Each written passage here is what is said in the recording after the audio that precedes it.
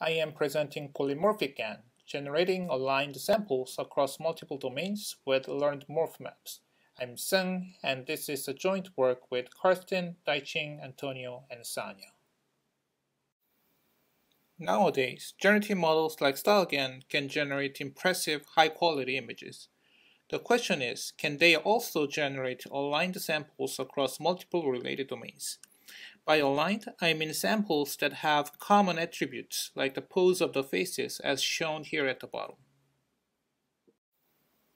And why is this an important question? There are multiple reasons. First, obtaining a paired dataset, such as a pair of synthetic and real driving scenes, is a non-trivial task, but they are required for many real-world problems, such as autonomous driving research. Also, once we have a way of generating aligned samples, we can easily transfer attributes from one domain to another. For example, we can edit an image in one domain and make the corresponding changes in all other domains. Lastly, many deep learning models benefit from feature sharing for related tasks, and we believe generative models also should benefit from it. Now, one of the challenges for modeling multiple domains is that they could have distinct geometries, such as human and animal faces, and we want to align them with common attributes.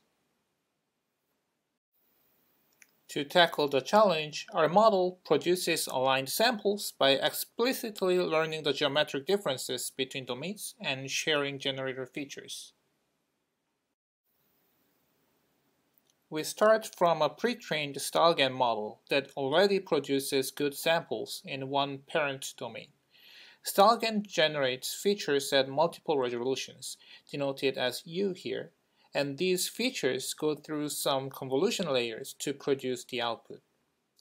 Now, to produce an aligned sample from a new domain, we reuse the StyleGAN features and train MorphNet, which produces a 2D offset map that specifies how the features should be geometrically modified to be suitable for the new domain. With this morph map, we morph the features and train a new shallow convnet to render the features for the new domain, and the output is fed into a new discriminator. We can simultaneously train multiple domains using the same process, resulting in our polymorphic GAN that produces aligned samples.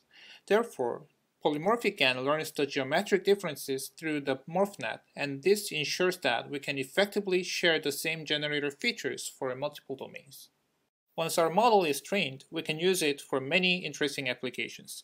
For edit transfer, we use existing algorithms for finding image editing vectors, such as object rotation in StyleGAN's latent space. Each row here is one aligned sample for five different domains, sedan, truck, SUV, sports car, and van. Because all domains share the same generator features, we can transfer the editing vector found in the main generator to all domains.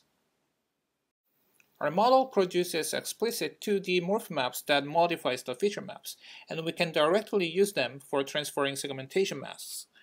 We first run a segmentation model on the parent domain, and then use the morph maps to modify the segmentation map for each domain, giving us zero-shot ability to obtain a segmentation for other domains. Polymorphic GAN essentially disentangles the geometric differences from texture differences between domains, and this enables novel image editing applications. We can use the fixed morph map from one domain while using rendering layers from another domain, for example, to create a cat-shaped tiger or a tiger-shaped human.